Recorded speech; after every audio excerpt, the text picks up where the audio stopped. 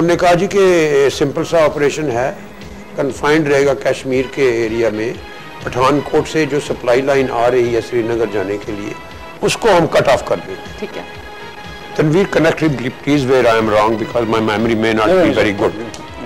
So, Akhtar Malik साहब ने जब ये उनको कहा तो इन्होंने कहा कि देखो you can get into a situation कि इंडियंस को अगर इस किस्म का नुकसान हो गया कि दे फील के श्रीनगर ही उनके हाथों से जाता रहेगा तो it may turn into a all out war it may not remain हाँ।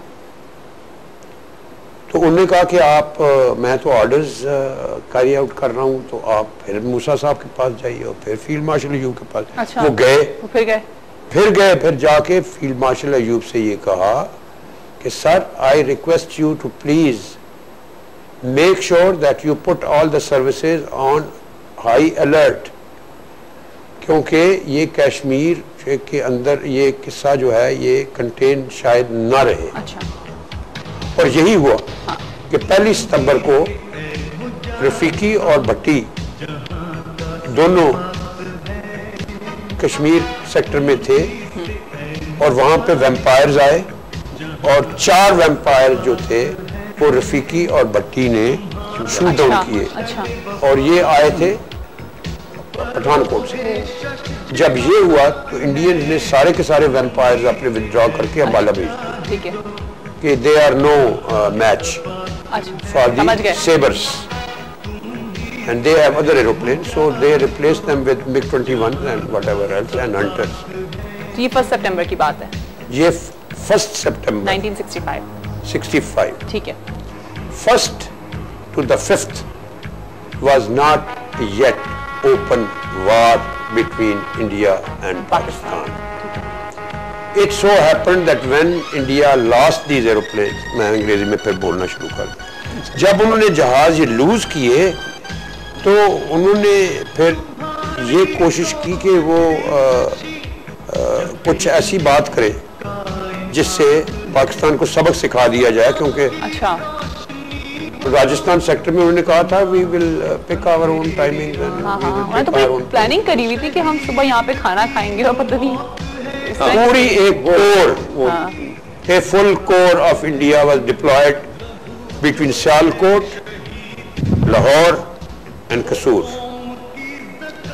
And the statement was made कि हम आज शाम को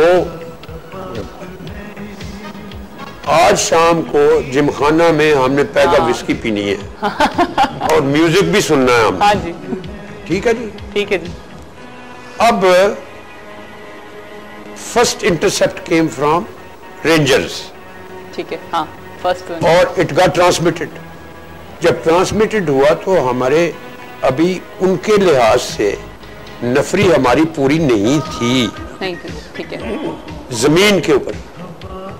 तो अब क्यों मैंने ये स्टेटमेंट दी कि नूर खान साहब ने पाकिस्तान आर्मी और पाकिस्तान एयरफोर्स को और पाकिस्तान को बचाया नॉट पाकिस्तान एयरफोर्स उन्होंने फ़ौरन टास्क किया। कि लाइक कुछ वो लोग प्रिपेयर्ड थी हमारी फोर्स एयर फोर्स हमारी प्रिपेयर्ड यस और नूर खान ने ये बात भी की कि जाके फ़ील्ड मार्शल अयूब को जो सवाब जाने वाले थे ऑन हॉलीडे उनको जाके कहा कि प्लीज़ काइंडली इन लोगों ने अब हाजी पीर पास के ऊपर हमला किया है।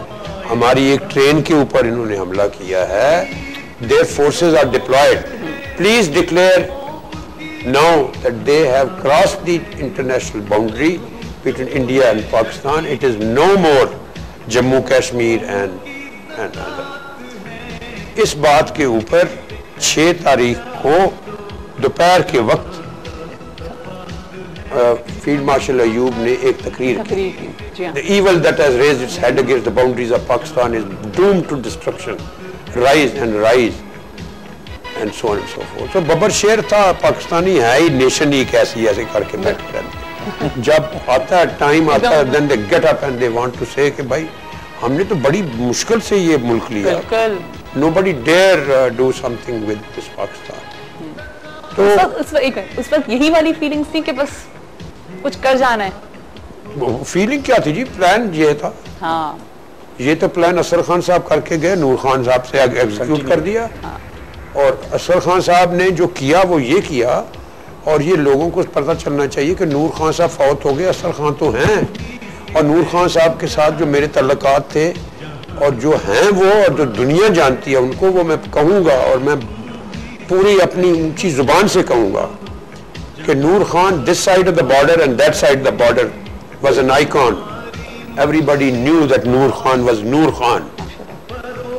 तो नूर खान ने सबसे पहले तो लीडरशिप ये दिखा दी कि सी वन थर्टी में बैठ गए खुद अच्छा। और कहा कि वो हमारे जो बंदे हैं कश्मीर में उनके पास खाना वाना नहीं है। जाहिद भट्ट बैठो सी वन थर्टी में। रिजवान नेविगेटर तुम बैठो। चलो मैं चलूँगा तुम्हारे साथ। अच्छा। Commander in chief goes for an operation to drop the supplies उधर गए तो वो बादल बादल थे वो मिस करके फिर रिजवान ने कहा सर एक मुझे ट्राई और दे दें। I think I can make it हमारे लोग नीचे भूखे मर जाएँगे उन्होंने कहा गुड बॉय डू इट दोबारा गए राशन फेंका सक्सेसफुल हुआ। वापस आए। ये था leadership this is leadership to lead from the front to lead from the cockpit अब नूर खान ने कैसे पाकिस्तान को बचाया और आर्मी को बचाया? वो बात ये है कि जब 6 तारीख को वार डिक्लेयर हो गई। जी जी। तो पाकिस्तान एयरफोर्स पहले ही तैयार थी जैसे मैंने आपसे गुजारिश की अप्रैल में। April onward we were ready हाँ बिल्कुल। हमारे जहाज़ लोडेड थे हम ब्रीफ्ड थे। हमें पता था किस बेस के ऊपर कहाँ है। क्या क्या ये ये इनको ब्लाइंड फोल्ड करके हमने नक्शे बनाए हुए थे। ये जाके बताते थे कि। वहाँ पे पेट्रोल डंप है वहाँ पे रनवे है वहाँ पे ये है वहाँ पे वो है। तो इसीलिए तो फिर वो लोग हैरान रह गए ना। हमारा जो दुश्मन था वो हमसे हैरान रह गया कि एकदम से सबसे पहले तो लाहौर की बात कर लेना जी। जी जी। वो विस्की का जो पैक था वो तो उसकी बात तो कर लेना जी। जी जी। जो उन्होंने पीनी थी। हाँ जी। तो जब पता चला कि ये तो आ गए हैं हाँ। तो ऑर्डर हुए स्क्वाडन लीडर देन हैदर। उनको हम प्यार से कहते हैं नोजी है क्योंकि उनका नाक जरा थोड़ा अच्छा अच्छा तो ये Prominent प्रोमिनेंट अच्छा लेकिन क्या इस तरह के मज़ाक हो जाते वो हैं आपके निकनेम्स हैं एयरफोर्स वो नहीं नहीं अच्छा। कोई जी हाँ अलग अलग किस्म के उन्होंने तो किताब तो नहीं है कोई? किताब भी लिखी है एक। अच्छा। जी flight of the falcon falcons flight of the falcon flight of the falcon तो उस उनके स्क्वाडन को टास्क किया गया। Go don't go for the airfields go against army Indian army Indian army. Against Lahore front and Kasur and Sialkot. उसके अलावा एक force strike force create की गई सेबर्स के ऊपर भी under the command of Sikandar Sikandar captain Sikandar wing commander Sikandar उनको हम कहते हैं सिकी बॉय हमारे जो तो आपको नाम बताते जा रहे हैं जी, जी। How we Pakistan air force ने पहले दिन 6 अगस्त को सुबह साढ़े आठ बजे से लेके शाम अंधेरे तक ओवर 80 मिशन किए। उनके आर्मर को तबाह बर्बाद कर दिया। उनका जो ब्रिगेड कमांडर था वो अपने अंडरवेयर में भागा। रियली जूते छोड़ के भागा। and he can call me and he can tell me that he didn't run with his underwears and I will answer him that yes It was not you 6 did August, You did. It was 6 September. sir.